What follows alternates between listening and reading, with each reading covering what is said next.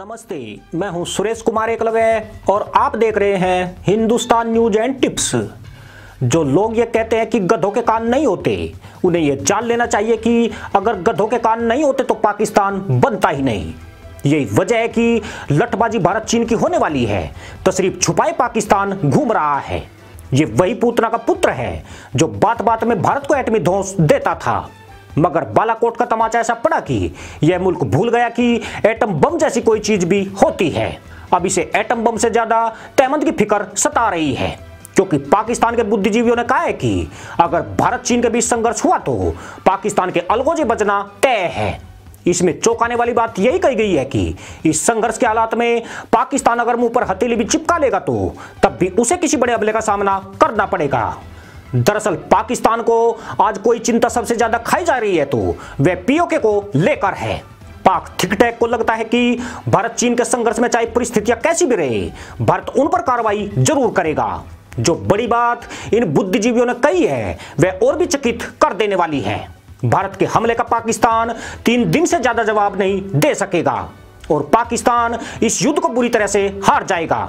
अगर पाकिस्तान हारा तो पीओके उनके पास रहेगा। इसकी बिल्कुल भी उम्मीद ना करे। गलत न्यूज़ के मुताबिक, कोरोना से लगभग तबाह हो चुके पाकिस्तान में सीमित जंग तक लड़ने की कुवत नहीं बची है। पाक फौज भीतर खाने इतनी कमज़ोर है कि उसके पास दो दिन से ज़्यादा का गोला बारूद तक नहीं है। उसके पास इतना बजट भी नहीं है कि वह आपातकालीन स्थिति में हथियार परचेज कर सके। इससे भी बड़ी बात यह है कि पाकिस्तान का तेल रिज़र्व भंडार जनता की पूर्ति नहीं कर पा रहा है। ऐसे में भारत पाकिस्तान को ठोकने के लिए आ गया तो तेल इकट्ठा करना उसके लिए एक बड़ी चुनौती बन जाएगी, जबकि युद्ध में तेल का रिज़र्व स्टॉक बड़ी भूमिका निभाता है। इसका मतलब यह है कि भारत चीन की टेंशन के बीच गधों के कान बज उठे हैं। पहले ये मदरसा मुल्क तयबंद लहराकर और टोपी उछालकर गधैया नर्तक करते थे मगर भारत चीन के बीच युद्ध की आठ ने इनके मदरसों में हड़कंप मचा दिया है। हालत यह है कि एलएसी की टेंशन पर इतनी चर्चा भारत की मीडिया में नहीं है, जितनी कि पाकिस्तान में हो रही है। इमरान खान को सुझाव दिए जा रहे हैं कि वे पीओके को बचाने के लिए कोई ठोस कदम ज़रूर उठाए, पर यह कदम तभी उठेंगे अगर कदमों में जान बाकी होगी। सो अरब डॉलर के कर्ज से तशरीफ़ टनों भारी हो चुकी है। ऐसे में वह जनता को भूख से मरने से बचाए या फिर पीओके के लिए, पाक फौज को युद्ध के लिए तैयार करे। इमरान के सामने चुनौतियों के पहाड़ खड़े हो गए हैं। इसलिए दूसरे पहाड़ को भारत भरोसे ही छोड़ा जा रहा है। जम्मू कश्मीर से लेकर पूर्वी लद्दाख तक भारतीय सेना का जमावड़ा देखकर पाक फौज के तिरपन काँप रहे हैं। इतनी बड़ी संख्या में इंडियन आर्मी की मौजूदगी अनायास नहीं है। घाटी में बहुत से शिक्षण संस्थानों को खाली करा लिया गया है। अब ये इमारतें सेना के हवाले हो चुकी है, जहाँ निरंतर फौजी बूटों की धमक गूंज रही है। पाकिस्तान अपनी तरफ़ की सीमा पर रहकर इंडियन आर्मी की गतिविधियों पर नज़र ज़रूर रख रहा है। पर वह यह आकलन करने में पीछे है कि भारत के मंसूबे आखिर क्या है। खास बात यह है कि बालाकोट की घटना के बाद भी नियंत्रण रेखा पर भारतीय सेना इतनी बड़ी तादाद में नहीं आई थी। पाक मीडिया की माने तो अकेले जम्मू कश्मीर से लगती एलओसी पर भारत के अस्सी हज़ार जवान तैनात किए गए हैं। सेना की इतनी बड़ी एक्टिविटी केवल आतंकवाद को रोकने के लिए नहीं हो सकती। यह यकीनन किसी बड़े लक्ष्य को ध्यान में रखकर किया गया है। खास बात यह है कि पाकिस्तान इसे एलओसी पर हमले के परिप्रेक्ष्य में देख रहा है। विशेषकर 18 अगस्त को गिरगिट बास्टिटान में होने वाले चुनाव पर भी अब संकट के बादल खड़े हो गए हैं। क्योंकि एलएसी के साथ एलओसी पर भी हालात तनावपूर्ण बनते जा रहे हैं। चुनाव की तो बात छोड़ दीजिए, इस इलाके में पत्ता भी नहीं, हिलने की उम्मीद है। उधर भारत के इस ऐलान ने पाक फौज की चिंता बढ़ाई है, जिसमें लद्दाख से इंडियन आर्मी की तैनाती बदिस्तूर रखने की बात कही गई है। इससे भी पाकिस्तान की घबराहट बढ़ गई है, क्योंकि दौलत बेग ओल्डी तक इंडियन आर्मी की पहुँच के चलते उसके सिर पर खतरा बैठ चुका है। यहाँ से कोराकरम पास मात्र 20 किलोमीटर की दूरी पर है। यह जहाँ चीन का सिज्जांग प्रांत अलग करता है। वहीं चीन पाक आर्थिक गलियारे, यानी सी का हिस्सा भी है।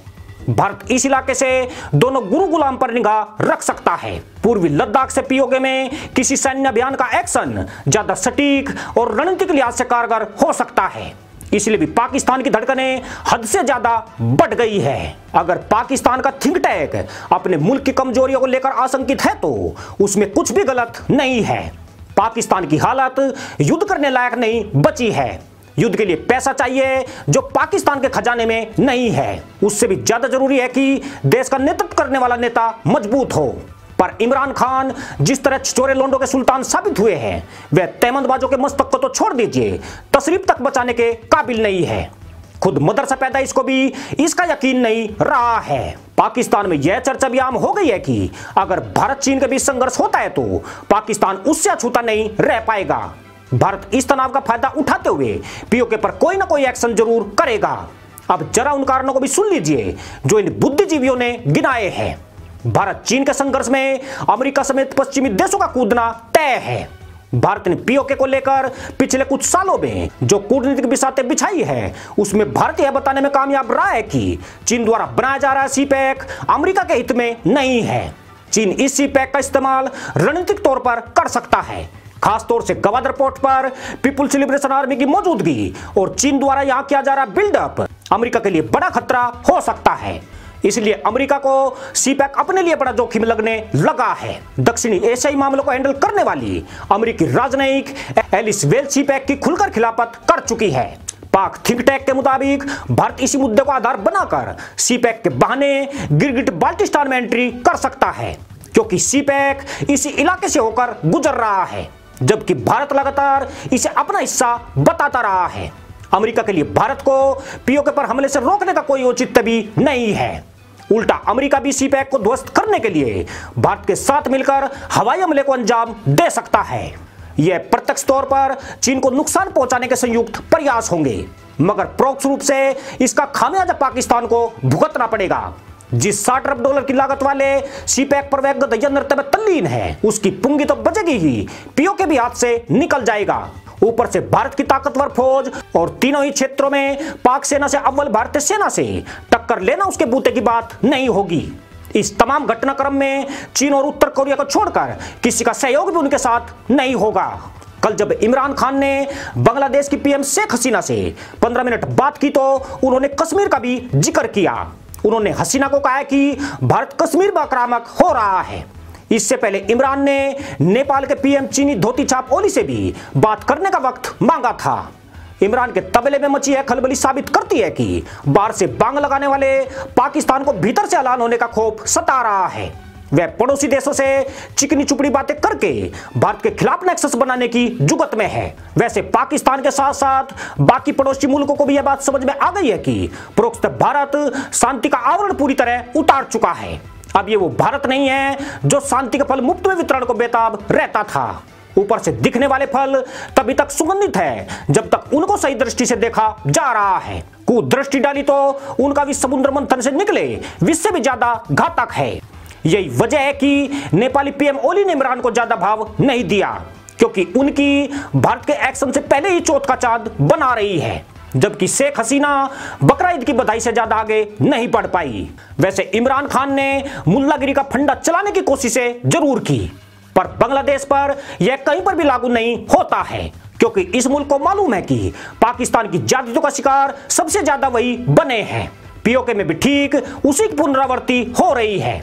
ऐसे में बांग्लादेश की सहानुभूति पीओके के साथ है, ना कि पाकिस्तान के खेमे में है। पाकिस्तान की मुसीबत यही है कि भारत की तरफ़ से बढ़ते दबाव का दुखड़ा वह रोने के काबिल भी नहीं रहा है। यूरोपियन कंट्री से लेकर खाड़ी देश और अमेरिका सबके सब भारत के चीन पर एक्शन का गुणगान कर रहे हैं। चाइना की हालत यह है कि वह खुद दुनिया में स्पर्श हो गया है। ऐसे में उसके लिए दुनिया के बंदरवाजे लागना एक बड़ी चुनौती है। ऊपर से उस पर चाइना गुट का धब्बा भी लग चुका है। इसने भी पाकिस्तान को दुनिया के निशाने पर ला दिया है।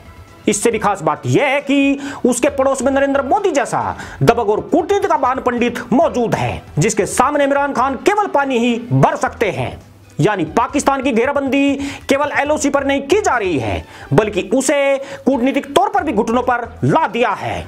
कहने वाले तो यह भी कहते हैं कि भारत में 2020 के अंत तक पीओ के वापसी की चर्चा कारण नहीं थी। तर्क शास्त्रियों ने पहले ही कयास लगाए थे कि भारत इस साल के आखिर में पाकिस्तान पर कोई बड़ा एक्शन कर सकता है। मगर उन्हें संदेह था कि पीओके में चीन के प्रोजेक्ट होने के चलते इसमें कोई पेच फंस सकता है। परंतु कुदरत ने जो चक्रव्यूह चला, उसमें कोरोना महामारी भारत के लिए एक वरदान साबित भी हुई है। चीन का पत्ता इसी कोरोना की वजह से कटा है।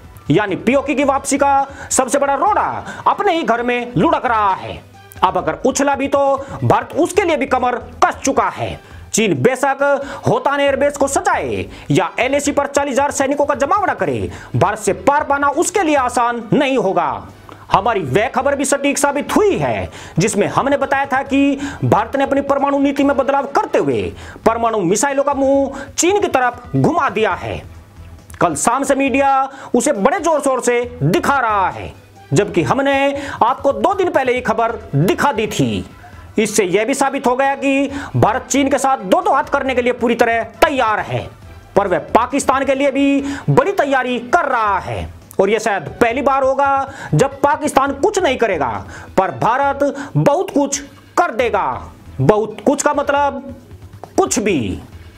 इसी के साथ अनुमति दोस्तों जय जवान जय किसान जय हिंद वंदे मातरम।